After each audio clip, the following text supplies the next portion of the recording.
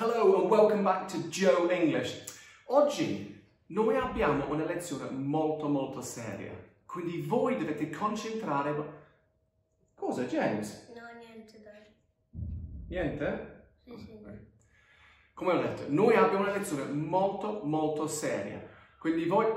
James, che fai? È scocciante, devi cambiare un po'. In che senso cambiare? È una cosa di grammatica, dobbiamo fare in questa maniera. Vieni qua.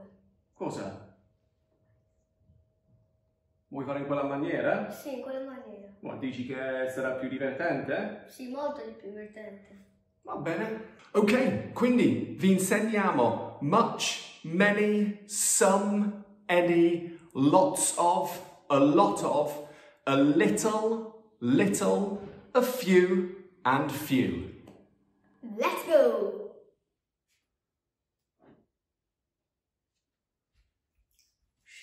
Ok, una cosa importante, vedi, la torta è una cosa singolare, c'è solo uno, ok? Quindi questo sarà importante quando spiego tutto, ok? Andiamo avanti. James, is there any cake left? Oppure si può dire James, is there much cake left? Oh, not much. Are you sure? Oh, okay, there is some. Ok, prima di vedere bene l'uso di much, not much, some e any, dobbiamo vedere un'altra situazione dove possiamo anche vedere many e not many in contesto, ok?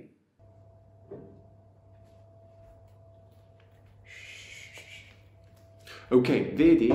Le caramelle sono plurali, ci sono più di uno, ok? Quindi di nuovo questo è importante per la spiegazione dopo. James, are there any sweets left? Oppure si può anche dire James, are there many sweets left? Uh, no, not many. Are you sure? Okay, so there are some. Ok, noi abbiamo usato la parola any per entrambe le domande. Is there any cake? Una cosa singolare. Are there any sweets? Le cose plurale. Significa la stessa cosa più o meno in italiano. C'è della torta o ci sono delle caramelle. Quindi any si può usare nelle domande per entrambe le cose, una cosa singolare o anche plurale. Adesso abbiamo detto is there much cake left? Che significa rimane molta torta, quindi tu sai che c'è un po', ma tu vuoi sapere solo la quantità. Invece la prima domanda is there any cake? Tu non sai se rimane un po' o no. Quindi in questa situazione dobbiamo usare much perché much si usa per le cose singolari, quindi cake c'è solo uno, quindi singolare, quindi dobbiamo usare much. Invece con le caramelle noi abbiamo detto Are there many sweets left? Are ovviamente perché è plurale, le caramelle sono plurali, quindi dobbiamo usare are perché is ovviamente per le cose singolari. E many fa la stessa cosa, rimane molte caramelle, quindi di nuovo noi sappiamo che rimangono alcuni, ma non sappiamo quanti. Poi James ha risposto not much. Not much, non molta, non c'è molta torta che rimane. E di nuovo, lui ha usato much perché è una cosa singolare. Torta è singolare. Invece, con le caramelle, lui ha detto not many, non rimangono molte. Perché sweets sono plurale e many si usa con le cose plurale. Poi finalmente James ha detto che rimangono, ok? Quindi c'è un po' di torta che rimane. Quindi per dire ce n'è un po', si può dire there is some, ok? E si usa some sia per le cose singolari, per le cose plurale. Anche lui ha detto per le caramelle, yes, there are some, ce ne sono. Però l'unica cosa, ovviamente, ha cambiato il verbo essere. There is some singolare, there are some plurale. Ok, prima di andare avanti e vedere altre situazioni in cui si usano queste parole, io voglio spiegare una cosa brevemente. Io penso che voi avete sentito che si usa much per le cose che non si può contare, le cose innumerabili. Per esempio burro, riso, non puoi avere un burro, due burri, un riso, due risi, non, è, non esiste, ok? E si usa many per le cose che si può contare, ok? Come le mele, one apple, two apples, um, le sedie, one chair, two chairs, eccetera, eccetera. Questo è assolutamente vero. Però io ho usato much, quindi le cose innumerabili, con la torta. E la torta si può contare. È possibile avere one cake, two cakes, three cakes. Quindi come mai l'ho fatto? Praticamente si usa much anche quando è una cosa singolare. Quindi anche se è una cosa che si può contare, ce ne sono uno, si usa sempre much. Ok, andiamo avanti. Oh, James, can I have some, please? Uh, no, sorry. You can't have any, there's not much left. Oh, James, that's not true. There's a lot of cake. Oppure si può dire, Oh, James, that's not true. There's lots of cake. oppure si può dire, James, that's not true. There's loads of cake. Ok, di nuovo, prima di analizzare questo, vediamo in un contesto con una cosa plurale. James, can I have some, please? Oppure, James, can I have one, please? No, sorry, you can't have any. There aren't many left. That's not true, James. There are lots of sweets.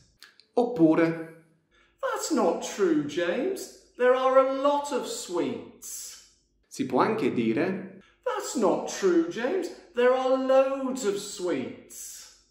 ok, quindi noi abbiamo detto, can I have some please, sia per la torta singolare e anche per le caramelle plurale. Quindi some si può usare per entrambi. In italiano significa, me ne dai un po'? Ma io so cosa state pensando. Non dobbiamo usare any per le domande le frasi negative e some solo per le frasi affermative? Sì e no. Praticamente questa è la regola che tutti dicono, però per una richiesta oppure un'offerta si può anche usare some nelle domande.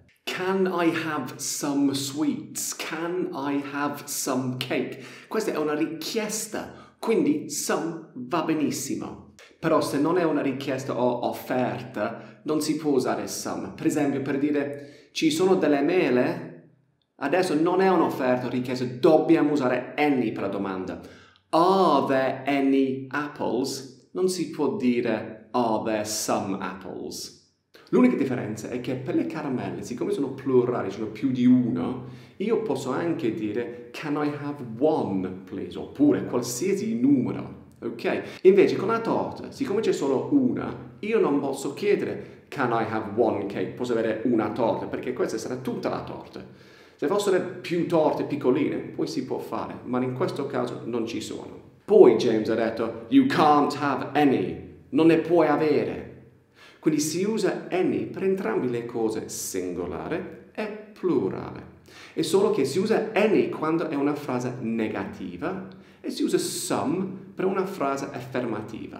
Poi con la torta lui ha detto, there's not much left, non c'è molto rimasta. Di nuovo, much per le cose singolari, perché per le caramelle lui ha detto there aren't many left, non ce ne sono molte rimaste. Quindi di nuovo, there is, c'è singolare, there are, ci sono plurale, e many perché many è plurale, ci sono più caramelle, ok? Poi abbiamo usato lots of, a lot of e loads of.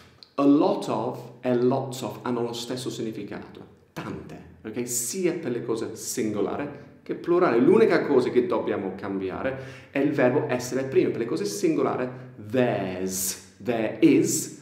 Invece, per le cose plurali, dobbiamo usare there are, ci sono.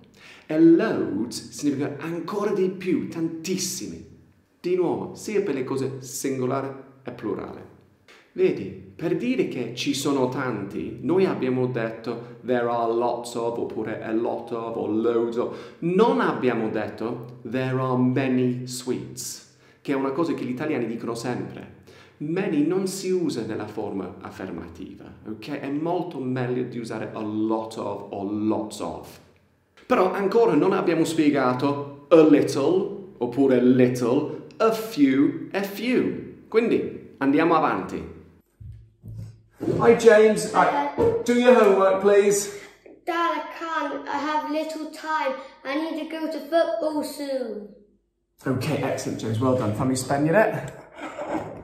Perché mi hai fatto dire quello? Ma si dice così. Ma non ti dico se mi dico in vita reale, non queste Ah, cose. I, I have little esiste. E lo so che non si dice bene. Guarda, dici che non dobbiamo dire queste cose. No! Va bene. Oh, sto registrando, James. James ha ragione. Si usa little nei contesti molto molto formali. Quindi per esempio io non mi ricordo l'ultima volta che ho usato little, veramente, perché non viene quasi mai usato. E il contesto significa che è, una cosa molto negativa, nel senso che I have little time è una cosa negativa, non ho abbastanza tempo di fare quello che voglio.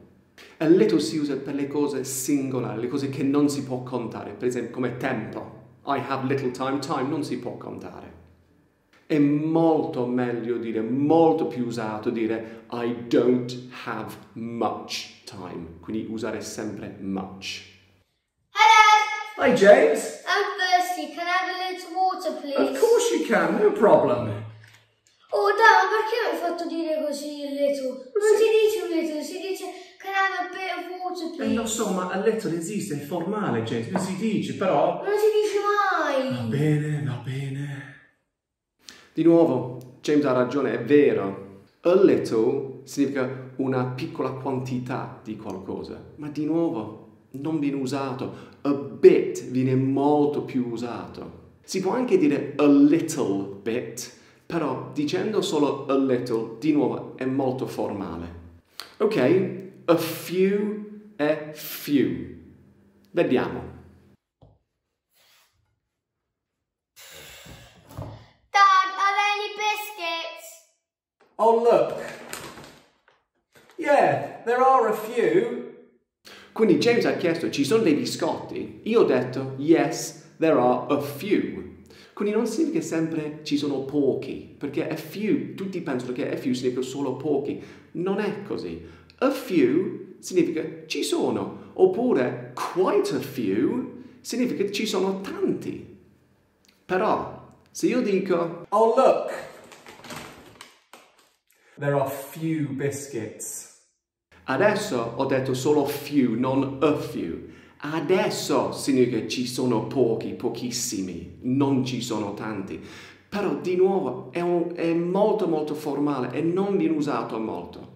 Quindi è molto meglio dire there aren't many, non ci sono tanti. Grazie mille per aver visto questo video. Eh, mettete un bellissimo like, iscrivetevi al canale e attivate la campanellina. E a questo punto ci vediamo nel prossimo video. Goodbye.